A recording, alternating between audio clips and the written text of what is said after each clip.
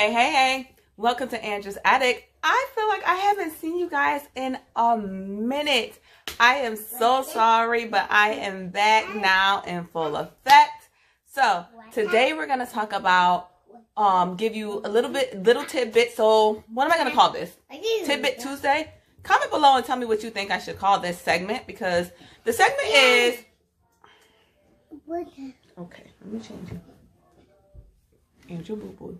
So, the segment is tidbits about early learning skills and child development. Grandma just got here. Dad just got here. Cut. Yeah. I'm going to be talking about one-to-one -one correspondence and how it relates to early learning skills. So, one-to-one -one correspondence is a early learning math skill. It's the act of touching each object one time while counting as the as the child touches the object. You need to touch the object one time within the set and count and correlate that one object with the number one. One-to-one correspondence is highly different than rote counting. Rote counting is counting counting numerals in a sequential order, just aloud. So like one, two, three, four, five, six, seven, eight, nine, ten. And we always hear that with students, um, with children just wandering around the house, probably counting.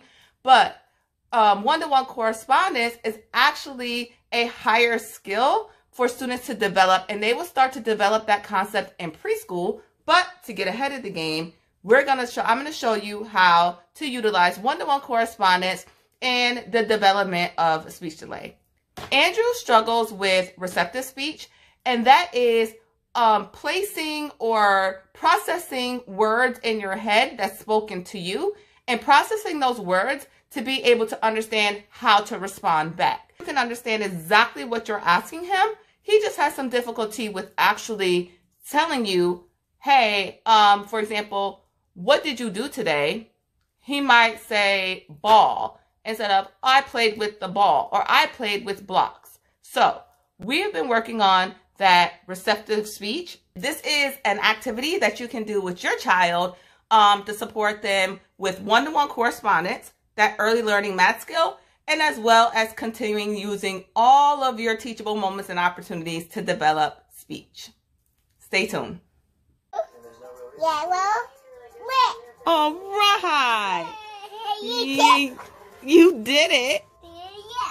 Okay. Are you giving him more blocks?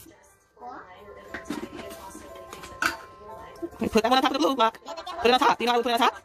Oh, I'm just gonna line it up. You did it.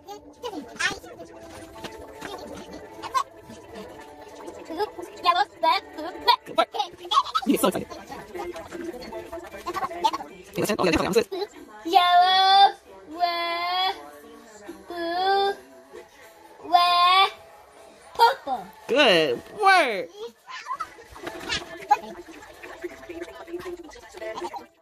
Blue, yellow, red, blue, red, purple, green. Good work.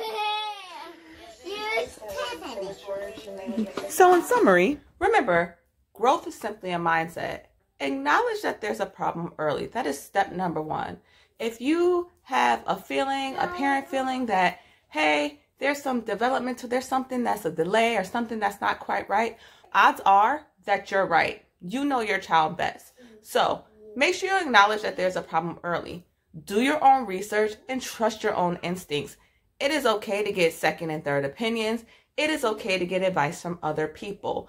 But the main thing is to ensure that you get support early. Early detection is key. Interventions would be the most effective by helping, acknowledging that there's a problem early and getting your child the support that they need early.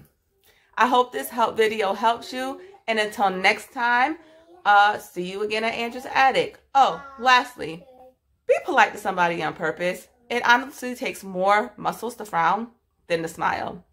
Bye.